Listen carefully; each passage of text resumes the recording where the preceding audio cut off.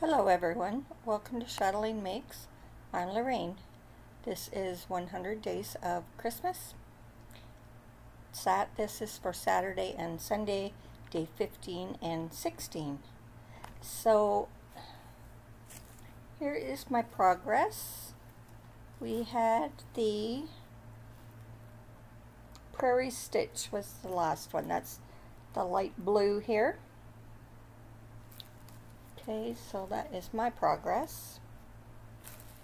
And so day 15 is the mixed cluster stitch. I will put a link to the tutorial down in the description box below. Excuse me. And the single crochet. So now let's see what color will be for the mixed cluster. Okay. Got light purple, which is three. Color three for the mixed cluster stitch. And for the single crochet, I have pink and purple variegated, which is number two. Okay. So I will see you again on Monday. So let me know if you're participating.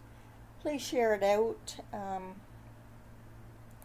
the other channels that are participating will be uh, in the description box below with links. And we look forward to seeing what is what we're going to end up with. So,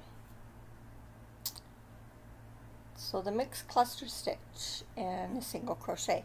Okay, that's all I have for today. So hope you're having a nice weekend. And until next time, this is Lorraine from Chatelain Makes saying, don't forget to stop and smell the coffee and the flowers. So until next time, bye for now.